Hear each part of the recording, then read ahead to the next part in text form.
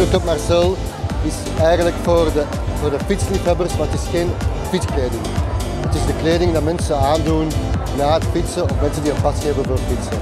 Onze focus ligt vooral dus op de, op de kledij, op t-shirts, op polo's, met een beetje een vintage gevoel. Uh, die refereren naar de belangrijke koersen, naar de Ronde van Vlaanderen bijvoorbeeld. Maar ook naar uh, iets waar alle Vlamingen gek op zijn, dat is de Mont Ventoux beklimmen.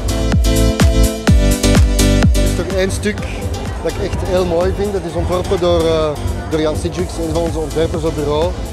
En de Mont Ventoux vind ik heel mooie. de Mont Ventoux, dat wil zeggen de berg waar de wind uit alle richtingen van komt, de Ventoux. Hè, dus de wind van alle kanten. We hebben daarmee gespeeld op een hele visuele manier met al die pijltjes. De wind die dus echt zo tussen, tussen de letters gaat. De berg is al 10% en dan eens met die wind erbij, tegenwind, maakt het die berg dus echt eh, een, een echte uitdaging.